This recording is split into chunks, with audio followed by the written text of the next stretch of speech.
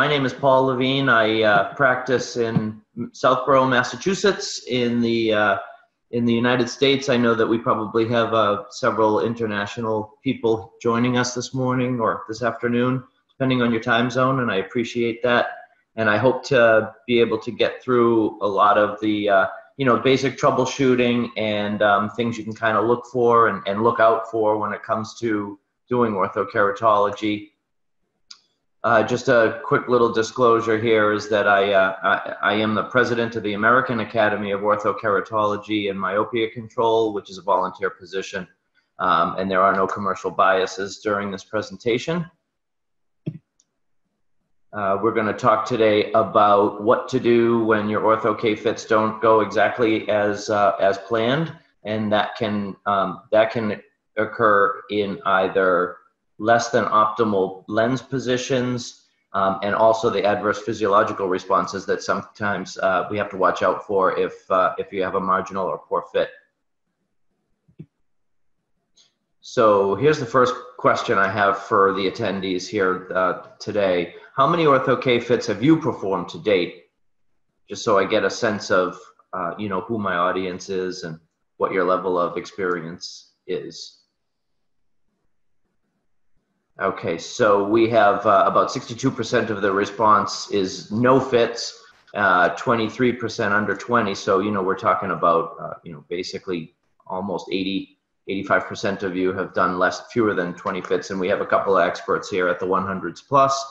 Um, so, all right, that tells us uh, we're going to, you know, we can keep things basic, but we'll also get into some more immediate, intermediate, and uh, uh, maybe we'll touch a little bit on some advanced issues. So uh, the first thing I just want to talk about when it comes to troubleshooting, the first the first way you troubleshoot is to know what kind of trouble you might potentially be getting into. Um, and so you want to do as much as you can before the fit even starts so that you can anticipate things that may not be perfectly well or, or go right or how well things are going to go. So the first question always people ask, especially new fitters to ortho-K, is do I really need a corneal topographer? And, uh, and the simple answer is no, you don't, because you could take K readings and you could take a refraction and you could call a lab and you could give them that information and they'll send you lenses.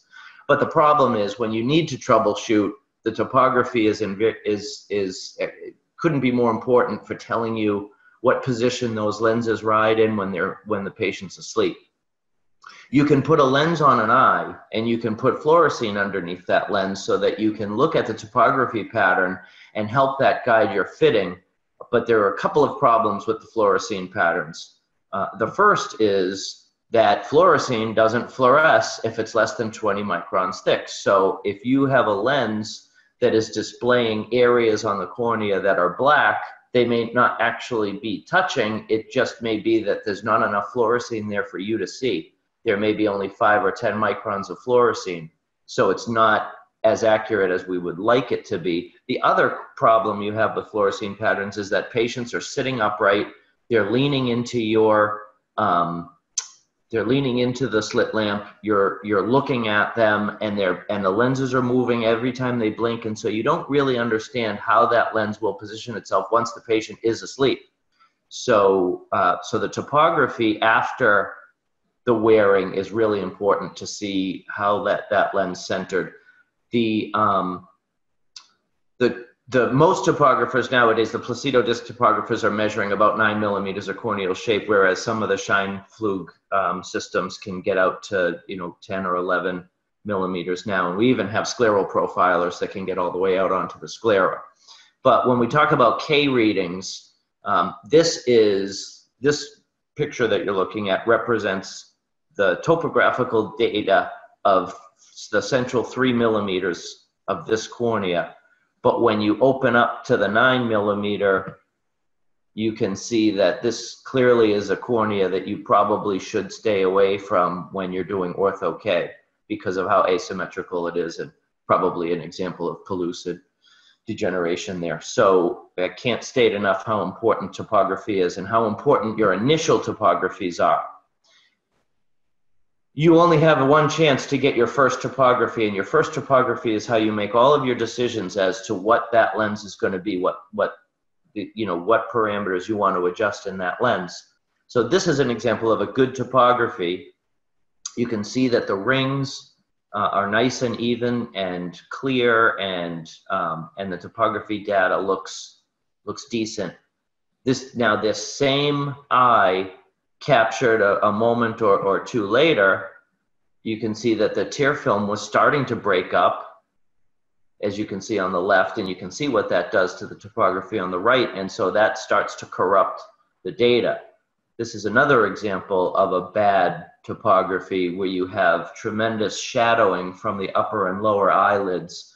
Uh, these are really common, especially with your Asian patients, and you have to really do your darndest to get those lids up and out of the way um, when you're getting these first um, when you're getting these first um, initial topographies. So there's a question uh, on the floor uh, that I will just answer live, um, which is, is there a preferred model of corneal topographer for ortho K fitting? And um, I, not really. Um, I would say that the industry generally um, uses the Medmont E300 as kind of the gold standard in corneal topography.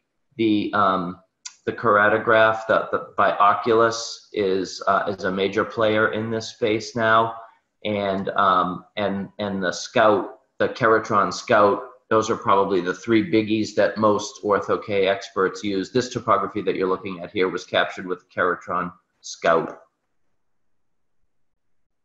But any topography is better than no topography. So, um, uh, you know, if, if, you have a topographer and you're not uh, in in the, it's not in your budget to replace it. If it's not one of the three I mentioned, you can still do just fine with what you have. Um, if you're looking to buy one, you might want to seriously consider those three that I just mentioned. Um, and I just want to touch really quickly. I know that Dr. Watanabe already gave a lecture on how to, you know, what the basics of Ortho K are, but just because I'm going to be showing so many of these types of screens, I just wanted to repeat that there are a few forces at work during Ortho K. You have the downward force centrally, uh, which creates our treatment zone, which is the, you know, the flat uh, zone in the center. So we have, um, uh, just bear with me for a moment. So we've got right in here is our treatment zone. Um, and then we have the red uh, uh, area, which you can see is the where the, the, the lens lifts up a bit. I'm trying to just see if I can get this um, annotation to work, but it doesn't seem to be giving me exactly what I want. At any rate, um, you can see we have downward pressure, which is which is as the eyelids push that lens toward the eye, and then you have a, um, a, a, negative suction or, or, or sucking force that pulls the cornea up into the reverse curve, and then you have your landing zone. And uh, uh, there's a question about SPK, but we're going to talk about that um, a little bit later.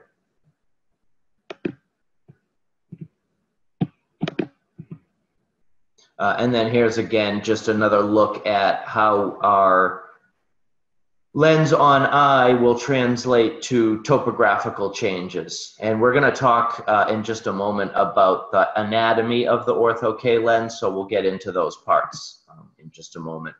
Uh, so when it comes to troubleshooting, there are a few different things that you can do. The first is you have to just sort of take a step back sometimes and try to understand where things went wrong. You um, uh, you can you can call colleagues. One of the things that I found very helpful when I first started with OrthoK was I had a group of friends that were um, at varying degrees of proficiency with OrthoK, and we would share cases and we would go over um, issues that we were having, and we would try to come up with solutions to help each other. Um, and then, um, you know, your lab consultants are also very, very, very important. The lab consultants really are experts on whichever lens you choose to use. So I do uh, encourage you to uh, to speak with your lab consultants when you start, yeah, if you start getting into a little bit trouble with the fit. Um, and then, um, you know, some of the best uh, education that you can get is if you go to an Ortho K meeting Um, the time spent in the lounge, uh, you know, after the day's lectures, uh, oftentimes is where you can almost learn the most about about doing this. And people who do Ortho-K tend to like to share, so um, we get a lot of after hours uh, education done, to be sure. Um, one of the things that I really stress is using your retinoscope. The retinoscope uh, is a very important piece of equipment. Not only does it tell you your what you need to know about the refractive condition of that eyeball, but it also tells you about the position of the um, of the treatment zone. And you'll see in the next slide, if this video will start playing, you'll see as, as I'm um, as I'm scoping the eye, you can actually see the treatment zone within that pupil. I think hopefully you can all see that. The, um, the, the, the, fortunately, this patient had a large, you know, larger than average pupil, which really makes seeing that treatment zone kind of pop right out at you. So I find that's a really important thing to do, especially when you have decentered topographies, which I'll show you some examples of um, a little later. This is just, again, looking at that same um, treatment zone right centered inside that pupil, which you can see in the topography pattern. The, the black line circle represents the pupil, and you can see where, um, where we've got that, that well-defined treatment zone right in the center. So please remember to use that uh, retinoscope for more than just figuring out what the power of that eye is. Sorry about that. Okay, the anatomy of an ortho-K lens, you'll see on the left the actual picture of the lens on eye with a fluorescein pattern. And you see on the right an OCT that I took of that lens. And you can yeah, clearly see that the treatment zone, which is, uh, which is the center, you know, creates an, uh, a, a, a, an applanation to the center of the cornea. You can then also see, if we jump to the next component, we're now looking at the reverse curve of the lens, and you can see the reverse curve in the OCT is quite a bit steeper than the base curve, which is very flat. And that's, uh, that's extremely important because that is where that negative suction force occurs. The alignment curve or the alignment zone of the lens is where the lens touches back down onto the cornea. So again, flatter than the reverse curve, but steeper than the base curve because the base curve is typically fit flatter than K.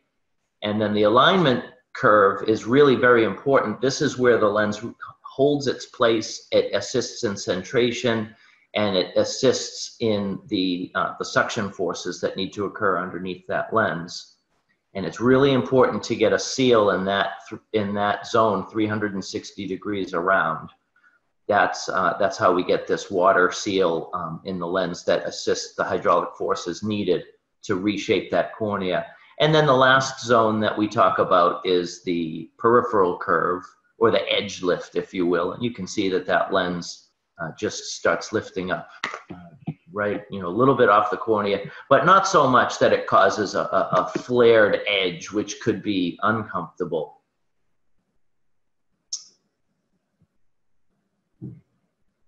There's a question that um, that I I'll I'll I'll address right now. It says that the treatment zone is different when the eyes close as the lid pushes the lens.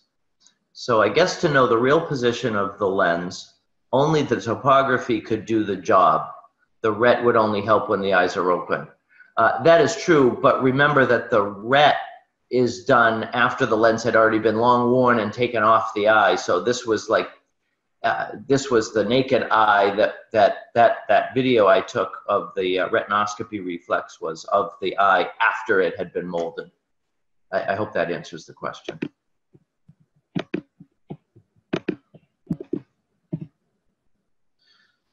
So now we will get into some actual troubleshooting and um, some malpositioning of lenses. So you can see in this particular example, we have um, we've got a lens that that is uh, that is sitting high on the eye and of course that could be an artifact because the upper eyelid may very well just be pulling that lens up so when the eye is closed the lens may center properly but as you can see in the topography the lens did indeed decenter while it was being uh, while the, the eye was uh, you know, was closed overnight. And, and you can see that the treatment zone is displaced superiorly.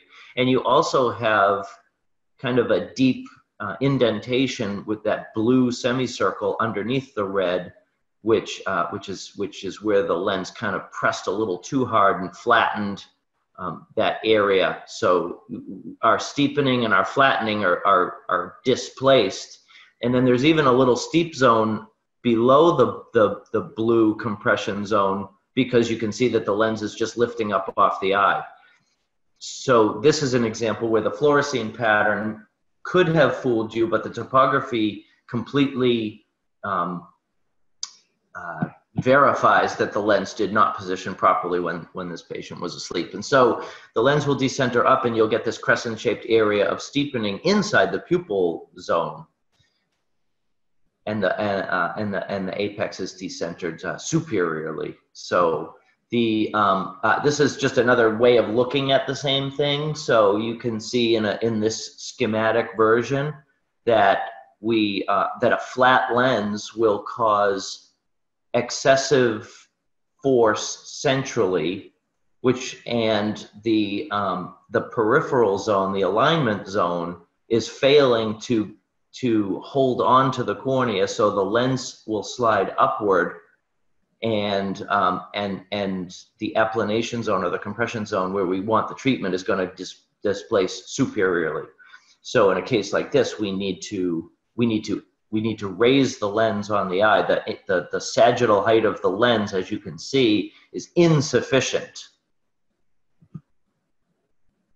So when the sagittal height is insufficient, and if we use the nomenclature that we get from the um, Paragon CRT system, in other words, in this case, the return zone depth is too small or insufficient, the lens will decenter or ride high and you'll get little or no peripheral touch. You can see how the edge is, is, is lifting off quite a bit inferiorly on that left uh, uh, photo.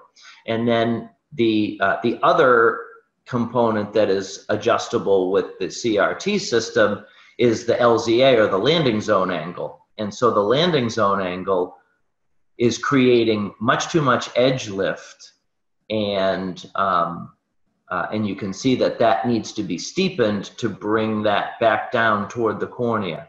This will give um, too much edge lift and the lens uh, will land more toward the, the return zone or the, or the reverse curve. And you'll get too much fluorescein pooling at the edge of that lens. So we have to figure out a way to fix that. The easiest way to fix it is to increase the sagittal depth of the lens. Now that can be accomplished by steepening the alignment curve or increasing the return zone depth, depending on which lens you're working with. Um, if the edge lift is too great, you need to decrease it or tighten the edge lift. By pushing the edges down a little bit, it will pop the lens up just a little bit. Um, the tight lid thing sometimes can be a problem, but sometimes it's not a problem because as you'll see after the patient sleeps, sometimes the lens will center properly and it only looks like it's riding high. But if you have very tight lids that's causing that lens to stay upward, there are a few tricky things that you can do. Um, you can and you can try. Some manufacturers can apply prism. Now, prism doesn't really help when you're lying on your back or on your side, but when you're sitting upright and putting the lenses on, it will help to keep that lens drop down just a little bit. I will say that this is not done very frequently. Another thing that you could do is you could increase the thickness of the lens or, or increase the mass of the lens, literally make that lens a little bit heavier so that again, it will want to drop downward rather than ride upward um, due to the gravitational force. The OAD, which stands for overall diameter, so in other words, the lens diameter can be increased to assist uh, better centration of the lens. The, the bigger the lens, sometimes the more room you have in that alignment curve area to hold the lens in place. And then the other thing that can really uh, give you trouble with centration is if the peripheral cornea is toric. So if you can look at your, uh, you know, 0, 180 versus your 90 270 and, and you see a great difference there, then that means that your alignment curve is going to fail to give you 360 degrees of, um, of hold, of, of grab, if you will. You won't seal off and uh, fluorescein will start to bleed in under the steep meridian of the cornea and that, therefore you may need toric peripheral curves. Now we're going to talk about that in a little bit greater detail later. So I'll hold that, uh, that part of the discussion for now.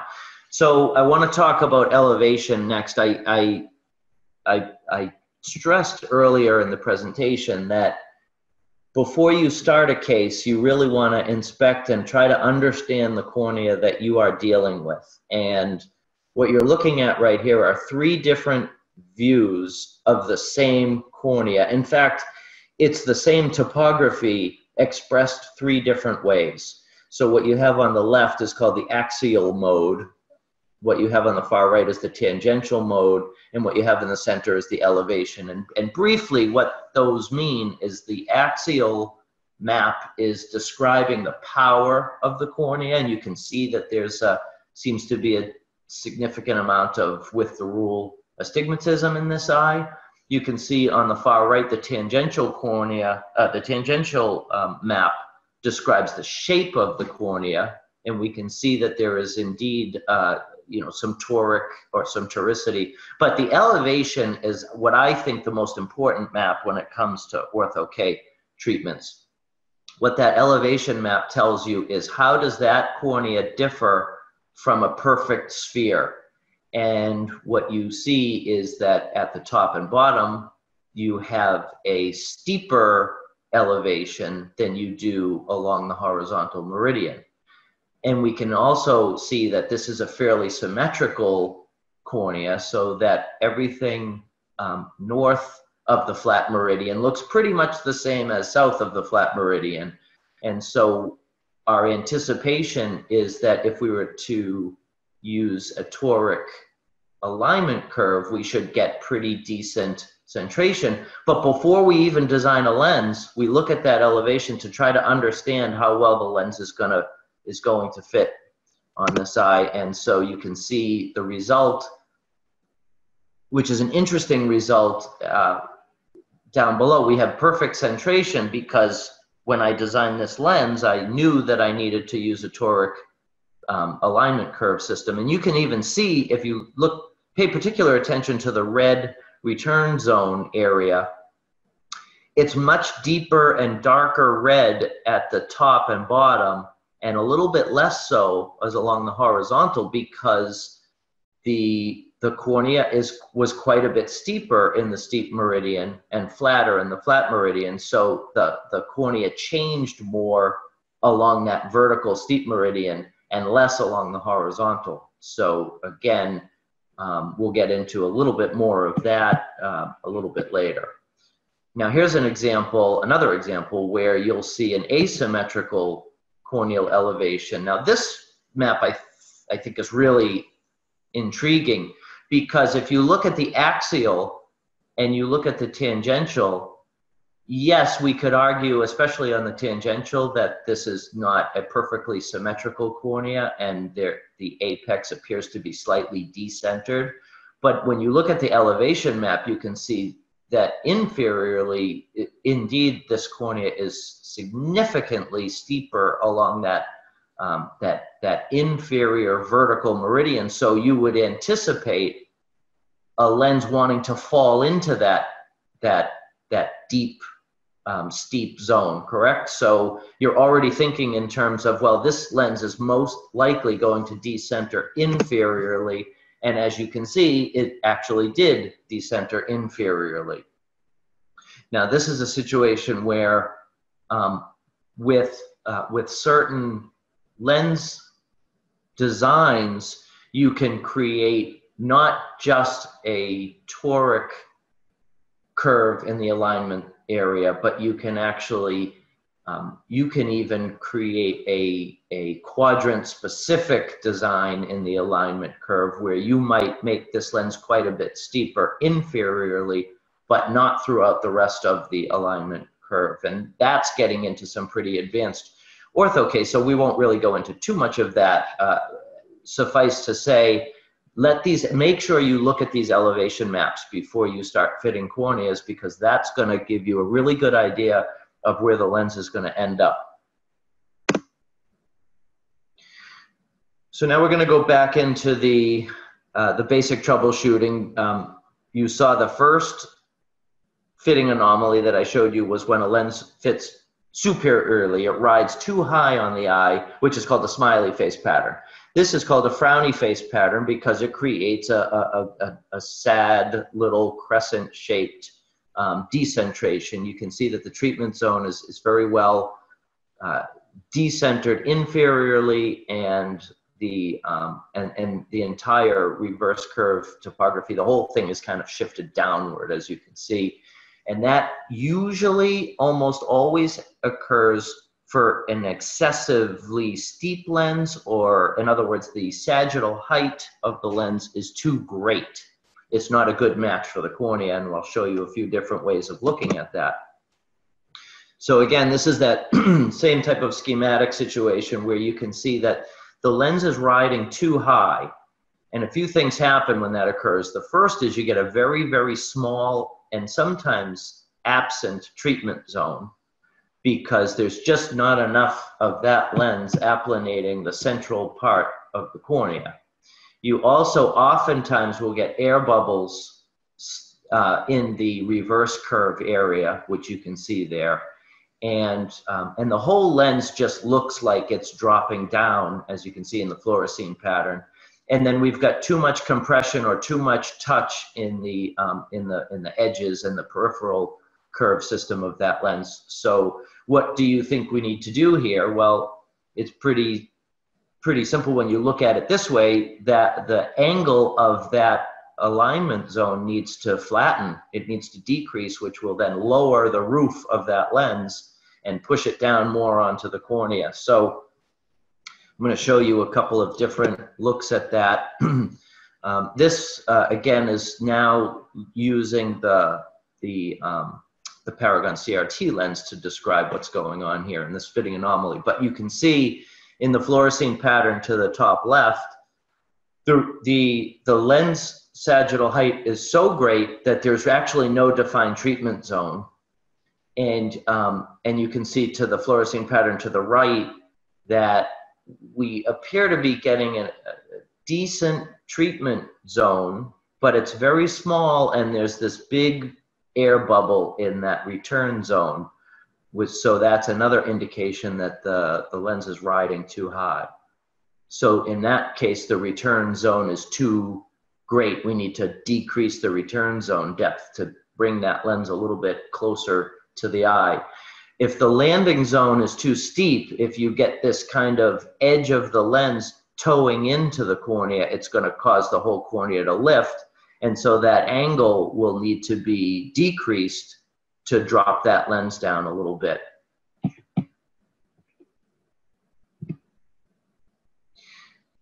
So this is what we were just talking about. When the alignment zone is too steep or too tight, we need to flatten it or loosen it. In other words, we need to decrease the return zone depth. Um, if the landing zone of the lens is it is too steep. If if if you don't see enough edge lift, then you know you need to flatten out the, the peripheral edges a little bit. Um, now tight lids can I told you tight lids can lift a lens and pull it upward, but they can also push a lens downward. And so sometimes you may need to decrease the edge thickness or the mass of the lens. But if you decrease it too much, you may start getting flexure. In other words, the lens might be too thin to achieve what you needed to achieve. Um, you can also increase the overall diameter to assist in the centration of this fitting anomaly too. And then the same discussion about the toric periphery. If we're failing to get a good alignment in that alignment zone, then we may need to go into a toric uh, peripheral curve. And in the, in the CRT system, that's referred to as a dual axis lens.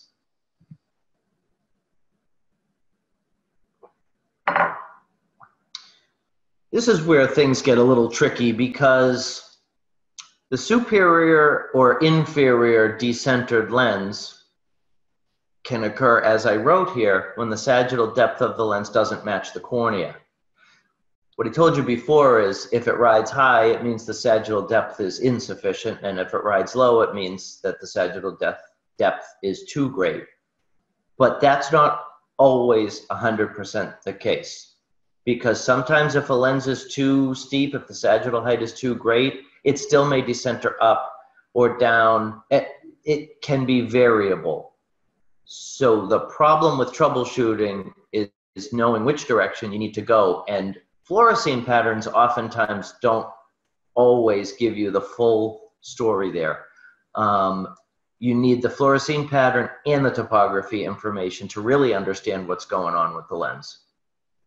The fluorescein pattern, um, as I showed you in those previous examples, if you don't see a treatment zone, it generally means that the lens is too steep. Um, if the edges are flaring or you have a very wide area of edge lift, um, or if the treatment zone appears very, very, very dark, then you know that the lens is insufficient in sagittal depth.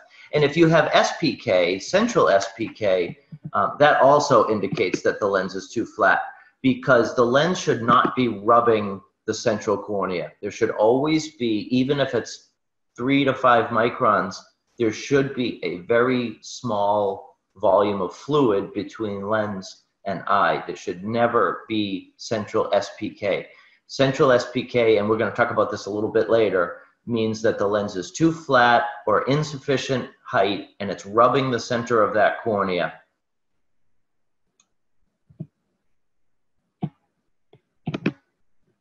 All right.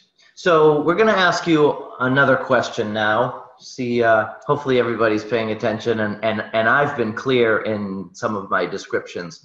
So the question is, if a lens decenters inferiorly, if that lens drops, is it typically, which of the following causes that? Is it insufficient sagittal height? Is it excessive sagittal height? Is the base curve too flat or is the base curve too steep? And there is, uh, there is, there is one, it may occur, you may think that there are more than one correct answer, but there really is one most correct answer. So we'll give you guys just a few more moments to, to vote. Okay. Now, I think I don't know if you can see the poll results. Um, by uh, by 63% of you chose the correct answer, excessive sagittal height. The lens is just too tall, it's it which is causing it to drop down. Um, now the base curve, I, I got just about 15% of you saying too flat and about 20% of you saying too steep the and I'm glad because the base curve should never be considered a parameter for fit. The base curve only controls the amount of of uh, of myopia that we are correcting. We should not use the base curve at all to uh, affect the fit of our lens. If the if the lens is dropping, therefore the sagittal height is too high, you might think that that's because the base curve is too steep but you have to not think about base curve as a fitting characteristic. So when we fit gas permeable corneal GP lenses for daytime wear, we always talk about base curve. Base curve's too steep, you gotta flatten it. Base curve's too flat, you gotta steepen it. That's how you adjust the fit. But with Ortho K, the base curve only controls the amount of power. It never controls the fit of the lens. The fit of the lens is done in the alignment area and in the reverse curve area and in the peripheral curve area. So, uh, so that's great. That was, uh, that was perfect. That was just how I would hope that question would be answered. So this is another, uh, this is a tangential map. As I described to you earlier, the tangential map talks to you about the shape of the cornea. You can see that there's a very oval looking shape to this cornea you can see that there's a with the rule pattern to the cornea.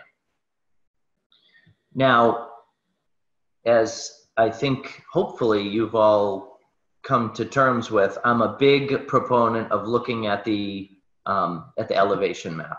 So here's an example of that same cornea with the elevation map.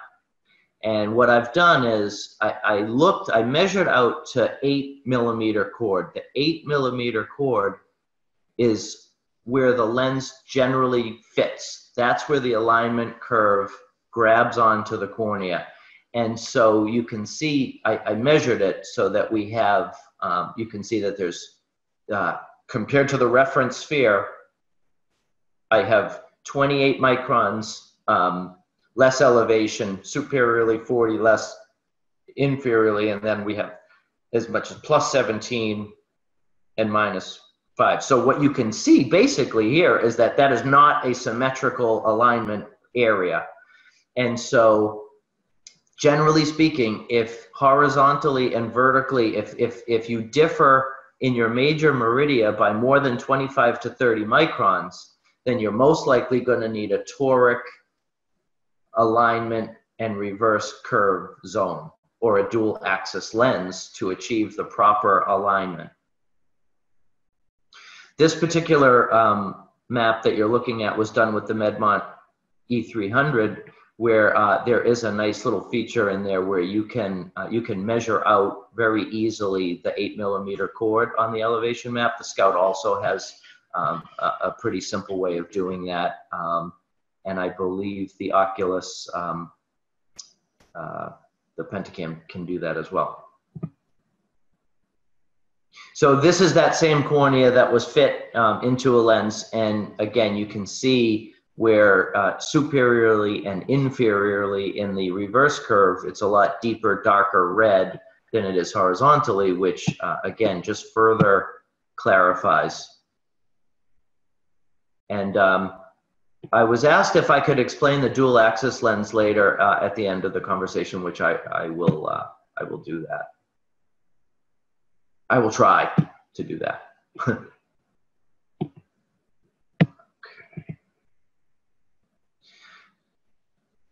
The other thing that we deal with when it comes to problem visits is what we call central islands. So this is an example of a central island. What you're looking at here um, the top left map is the pre-fit and the bottom left map is the post-fit. And then the map to the right is what's called the subtractive map. That's where we subtracted uh, the new from the old and it shows us the difference. The arrow is actually pointing to the zero line and the contour that you see um, shows us the, uh, uh, I'm gonna try to use a pointer here if I can if I can figure out how to do this. So as we move across this white line,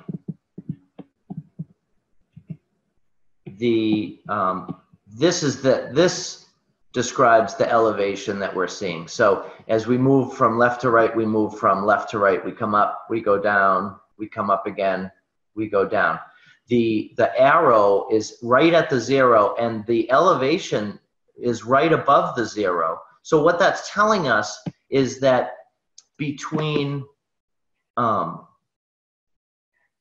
uh, between the post the the pre-fit map and the post-fit map, we've actually steepened the cornea centrally. We are plus. We are we are a, a few microns above where we actually started. So we know that this is a central island. We've actually caused steepening in that uh, in that area. And let me go back to my mouse.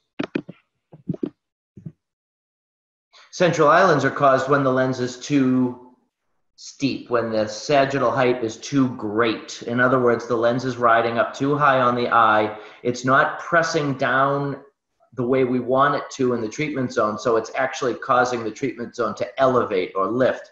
In other words, we're almost creating a hyperopic effect um, as opposed to treating a myopic. We're, we're steepening the central cornea instead of flattening it. And that can happen uh, for a few different reasons. First off, just make sure your math is not incorrect. If your topography pattern is um, if you took a bad topography or your K readings are off, perhaps that that it negatively impacted your design of your lens. Um, make sure the patient didn't switch their lenses. One of the first thing you do when you troubleshoot is make sure they're not wearing their right lens in the left eye or their left lens in the right eye. And that is pretty easily accomplished by using different color lenses. We, we typically put a red lens on the right eye and a yellow lens on the left eye um, or we will use a green lens on the right eye and a blue lens on the left eye so that it makes it easy for the patients. Um, you can troubleshoot those lenses in office if you have a radiuscope and you can uh, make sure that the lenses haven't been switched if they are indeed the same color. Now, this is not a central island. This is a what they call we call a fake central island. And I will describe that in just a moment. So what you're seeing here, again, here's our pre, here's our post. You see that. Now you might want to call that an island, but it's really not. It's a fake island because the, again, the arrow is pointing to the zero. That part of the cornea is, is below baseline. So what has happened here is that we've created a nice treatment zone way down here, but it's a not uniform treatment zone. So we've brought the we've brought the treatment zone down, but there's a little hump in the center of it. This is a fake central island because this is caused by SPK. So the cornea is has been um, irritated in the center. The topographer doesn't know how to analyze that, and it creates this this this steep zone in the center of the cornea. So this is typically caused by a lens that is too flat or insufficient in sagittal height. The refraction should not show more myopia than the prefit. So this is how you di differentiate between fake and true central islands. Um, if there's SPK centrally, it's most likely a fake central island. If uh, if you have indeed um, decreased myopia, it's probably a fake island. And if you've increased the myopia, if they started out as a minus two and they come back as a minus 250, then you've steepened the cornea. You've and uh, and you know that that is a, a true central island. I, I, hope this is this is clear. Um, the other thing that can cause a central SPK, besides a lens being insufficient in the sagittal height or too flat, is if the lens is really dirty. Um, and we can, uh, we're going to talk about that also in just a moment. We're going to break for a poll question right now. Um, this is just, again, asking the difference between the true central island and the fake central island. So uh, please um, give me your answers. Uh, we'll give you about 20 seconds or so to do that. And the results are in. So you, you, if you said B, you were correct. If you said B and C, you were more correct. If you said C, you're correct. So pretty much every, just about everybody got um, got that right. So excellent job there. Lateral decentration. Uh, this really is kind of the most difficult one to fix because there are so many different reasons why lenses may decenter laterally. You can see in that fluorescein pattern that it just looks absolutely beautiful except for the fact that it's riding too far toward the nose. Um, you can also see how much cornea is left over temporally. So generally when it comes to lateral decentration, the big fix for this is lens diameter. The lens should consume about 92 to 97% of the HVID. HVID, for those of you that don't know, stands for horizontal visible iris diameter. The VVID is the vertical visible iris diameter, which oftentimes you can't get because the topographer cuts off superiorly and inferiorly. Sometimes you can only do the diagonal visible iris diameter. And you can see on this map right here, I have, um, I'm, I'm measuring the, uh, the HVID, the horizontal visible iris diameter, uh, as you can see right here. So I'm, I, I start my cursor here, I drag it over to here, and it tells me that this is a cornea of 11.83 millimeters. What I did here was I went diagonally, and you can see now that it's 11.97. So diagonally, we're going to always be a little bit larger than we are horizontally.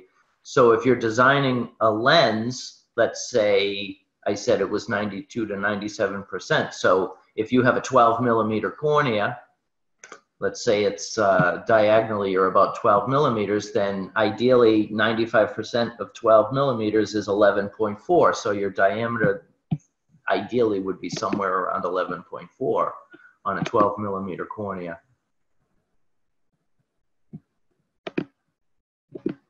Let me just get rid of the highlighter here. Okay.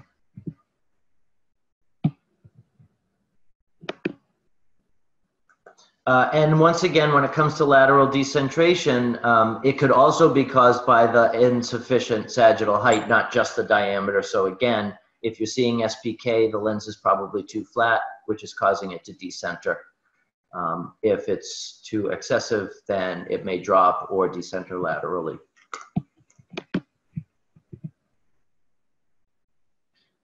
The Asian eyelid is a real challenge. It fits very tight. Uh, it grabs the lens and it and it and it really pulls the lenses um, up or sideways or it pushes them down.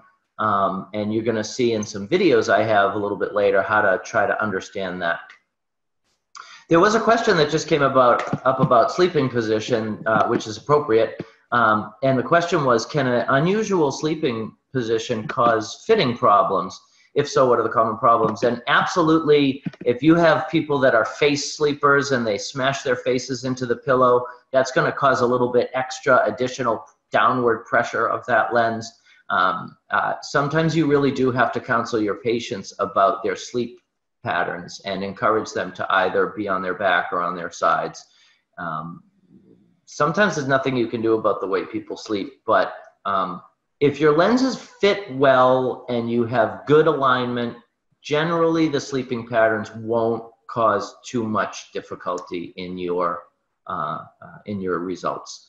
Um, lagophthalmos is something to watch out for. If you have patients that do not keep their eyes closed when they're asleep, they're going to start drying out quite a bit. Um, sometimes if you have a lens that you can't get to center no matter what you do uh, the advanced fitters will go into corneoscleral designs where they might go to a very large diameter lens like a 13.5 or a 14.0 but this is really advanced stuff and it's uh, it's above what i wanted to talk about today. Um, make sure your lenses stay clean have your patients bring them into the office every time they come in for a follow-up visit so you can inspect them. Um, they might clean them well at home, but they just may be a heavy depositor and you may get a lot of um, deposits building up on the lens. Progent by Menicon is a really great product to remove any residual protein. Okay, really, uh, this should be a pretty easy one for you all. What is the ideal lens diameter for a 12 millimeter cornea? So yeah, you got just about everybody got um, got that right. 92 to 97 percent of the measured HVID is correct. Um, there are some that propose uh, the 0.2 millimeter smaller than HVID, which is uh, which really is a good answer also. Um, there's really no right or wrong to this. A lot of this has to do with personal preferences, but I have found in my experience that going about 95% is the way to go. So, question Is this lens decentering? It sure looks like it, doesn't it? Uh, but when we really analyze this in a little bit greater detail, we find that it's not quite as decentered as we think that it might be. And you can see here, um, because the, uh, the window of cornea gets cut off, so we created a, um, uh, that the circle is the, um, is the extent of the cornea where it gets cut off. And when I measure edge of cornea to edge of treatment zone, we can see that there's only a difference of about a half a millimeter. So even though it looks profoundly decentered, this is a situation where the patient has a large kappa angle and, um, and so the entire topography is displaced one way. Um, and so uh, this is another example where the retinoscope showed that the treatment zone was actually pretty well centered within the cornea.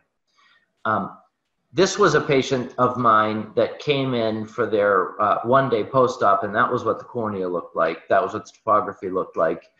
And that was what the lens looked like on the eye. It's maybe slightly nasal, but you can see it's actually pretty well centered over that pupil. What happened was this was a patient that came into my office wearing the lens. And the lens had become bound. It wasn't moving at all. It was almost stuck to the eye. And um, there are some practitioners that like their patients to come in after the first night of wearing their lenses with the lenses still in their eye. I don't because of this. Um, you, uh, lens binding, if your lenses fit a little bit too tight, sometimes can cause a lens to bind. It's important to just make sure patients know how to remove a lens that is stuck. If they are having any trouble getting the lens off, you want to put some artificial tears in. You want to look up and gently depress the sclera just below the, the, the edge of the lens to create a little air pocket to slide up under the lens. And then that will help that lens come right off the eye. There was a question about uh, central staining earlier. Um, how do we evaluate uh, central staining and um, when do you let the patients keep wearing their lenses or when do you make them stop? I mean, if you have very mild staining, grade one or, or, or, or less, um, that may be from how the lens was taken off the eye. They might have been a little rough. Maybe there's slight drying. If you have grade two plus, it's, it's unacceptable. And uh, and if you have a fake central island or if you have really deep staining centrally, then uh, there's generally a problem with your fit. Um, this is just an example of dense corneal staining. And, and when you see something like that, that may be a, a, sensitivity to the cleaning products that you have your patient using where it's so diffuse like that. It may be a reaction to the preservative. Um, wettability of your lenses can be a problem. Um, sometimes that can happen when there's a lot of uh, defects or, or, or, surface defects. And an older lens can sometimes warp. One of the ways that you can tell is if you do a topography over um, the lens on the eye, you might be able to see a lot of uh, toricity or warpage. Um, corneal abrasions do happen. That can happen from rubbing the lenses. It can happen from being not that good at putting in and taking out. Make sure your patients are really well trained. And um, if they have dirty lenses, chipped lenses, you know, all those things can lead to abrasions. You have to be really careful with abrasions that you get those healed up right away. Make sure your patients know to call you if they have any questions and not to just go to their primary care physician or another doctor that doesn't know how to deal with ortho-K lenses. Uh, this is something called dimple veiling that you might see. If the lens is very, very steep on the eye, an air bubble might break up into several mini small air bubbles, and these cause little dents on the eye. They usually resolve within one to two hours. But typically, when this happens, either the lens is too steep or they have not filled the lens uh, with a proper um, solution. We, we generally use sterile saline um, or, uh, or non-preserved artificial tears to fill a lens before they put that lens on the eye to prevent air bubbles. Uh, you're going to often see an iron ring in, uh, in, in what would be the area of the reverse curve. As you can see there, it's really inconsequential. Um, Microbial keratitis, we don't want to see corneal ulcers go bad in our patients that wear any contact lenses. Um, this is really important. Your patients have to know if their eyes are red, if their eyes hurt, if they have light sensitivity, they need to get their butts to your office ASAP. There was a really great study done um, to test the safety of ortho-K. It was a retrospective study. It showed that um, this was done by, the, by Ohio State University uh, Mark Bullimore ran this uh, this study, and um, it showed that over 10,000 years of wear, there were 7.7 cases of microbial keratitis. So we know that this is a it's a safe modality, but your patients need to be well trained and um, and and and understand what to look for if troubles happen. Uh, and then one other thing that can happen is patients might lose effect. So you may have a great treatment and suddenly it's not great anymore. Um, again, like I said before, look for warpage, look for dirty lenses, um, uh, make sure they have them in the right eyes, and siblings in question mark. I have um, I have seen situation where I have two brothers wearing ortho-K lenses, and brother A started wearing brother B's lenses by mistake. So uh, always uh, just remember if your patients can do it, they will do it. Um, and then the last thing I wanted to talk about is glare and light sensitivity. we do um, we do see that from time to time. We want to make sure our patients know ahead of time that glare is real. It happens. It generally gets much better with time. Um, sometimes we have to increase the optic zone of our lenses, uh, the treatment zone area.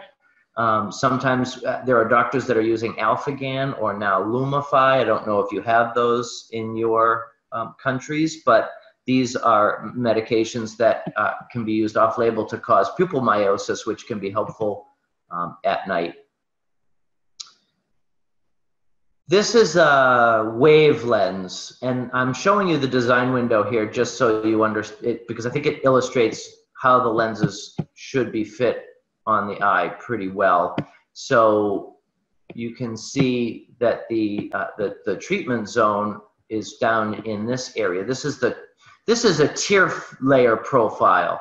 So where the lens is flat, where it's flat, you see it's very flat. Where the lens is steep, the tear layer profile comes way up high. That's why we see so much fluorescein there. And then this is the alignment area. So when we talk about dual axis lenses or we talk about toric lenses, uh, this alignment zone here is going to be flatter along this meridian. And it and when we and when we change this to the vertical it's going to be a lot steeper. So we're going to have two different base curve uh, two different curvatures. We're going to have a flatter curve here horizontally and a steeper curve here vertically. And i apologize if this isn't super clear on how to see that so here's a question for you we're not going to do it as a poll but is this a good fit or is it a bad fit I mean, it kind of looks like it's not very good. It's riding superiorly and, and nasally, but my topography on this was really quite well centered. So why is that? Well, if you watch this video, you're going to see that that lens indeed is decentered. However, when I pull the lids away from that eye, look at how well that lens centers. So the theory behind that is the lid is what's causing the lens to push toward the nose but when the lids are closed, when the lids are not grabbing that lens, it's going to center well. So we know that the, the reverse curve and the alignment curve and the peripheral curve have been well designed on this lens. Here's another one that you see looks like it's riding very low, right? I mean, what, what do you notice? The treatment zone looks thin. It doesn't look very dark. There's an air bubble in the reverse curve. So we're thinking this is an excessively steep lens, correct? And you can see we didn't get a very good topography. And this is another look at that wave profile view. So what we did here, uh, let me just grab the uh, highlighter. So you can see that the alignment zone of that lens was lifting up off the eye. So we flattened out that alignment zone. We, we, we, brought, we brought the edge lift up a little bit to create a more flat alignment, in which case the sagittal height of the lens dropped. And then that, making that modification to the alignment zone um, created that, uh, gave me a better fit on that lens. Um, this is one that also looks a little bit steep as we're getting a bubble and we're seeing a very small treatment zone in the, in the center. and that's how it turned out a little bit low and maybe a small treatment zone. So what we did here was we went from this smaller treatment zone to a wider treatment zone. Um, and we did that by decreasing the height of the reverse curve here and flattening the alignment curve here. And so what we turned out with was this lens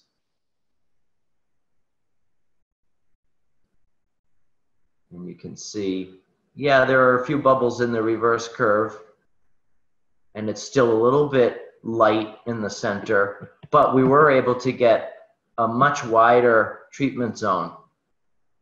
Now the whole lens is maybe slightly inferior still. And you can see on these difference displays how much larger the treatment zone became just by lowering the sagittal height of that lens a little bit. so just a few pearls, and then we'll we'll uh, we'll save time for uh, for some questions. When you start doing Ortho-K, you get very excited about doing Ortho-K, and every patient that walks through your office, you want to do Ortho-K for. But just because they want to doesn't mean that you should. Make sure that it's a good candidate. You want a symmetrical cornea. When you're just getting started, you probably want to stay below about a minus four. Um, and um, uh, and you want to have a well motivated patient. You want to talk to them a lot. You want to teach them a lot. You want to give them information that they can take home that's written as to how to care for the lenses, how to put lenses in, how to take lenses out. I highly recommend doing your own topography because you, they need to be just right, especially for the pre-fit maps. So be careful when you delegate too much to staff and try to really spend time with these patients, especially in the beginning. They're going to have a lot of questions. Um, don't make changes too quickly. I think that's the biggest mistake that new fitters make. Give the process time to work. Um, make sure that you take topographies at every visit. Make sure you charge enough for your time and expertise. Um, and try to learn as much as you can. Continuing education is invariable with this, and it's good to do it this way, but it's even better to do it in person where you can have one to one interactions and people take out their laptops all the time and pull up topographies and talk about photos and, and, and patterns and designs. And then um, just a quick little, um, I'd like to just throw one thing out at you. As I told you, I, I run the American Academy of Orthokeratology. The International Academy has, um, has chapters around the world, as you can see here. And so I would encourage you to, uh, to consider joining your, one of your local chapters uh, that run educational meetings and um, uh, it's a terrific organization. So at this point, I'll open up the floor to questions. Um, there is one here. Some lens designs state that they can correct much greater myopia and astigmatism than others. Are there any disadvantages to using these lenses to all patients? No, absolutely not. So there's basically um, there are there are there are custom designed lenses, and then there are more empirical fit lenses. The custom designed lenses like Wave, like EyeSpace, um, like Ortho Tools, like RGP Designer. You can do just about anything with those lenses that you want to, and there's really no disadvantage. You can use those for every single patient. It's not overkill to do that. Um, you don't have to over engineer a lens, but you have the opportunity to dig deeper into the engineering of the lens if you're needing to troubleshoot a poor fit. So, um, uh, uh, some of the empirical lenses out there, um, Euclid makes a terrific lens and Paragon CRT makes a terrific lens you know, those lenses don't have as much customization, but they do work very well. Um, so uh, most doctors that do Ortho-K use multiple different lenses for multiple different situations. So uh, I, I do hope that answers that question.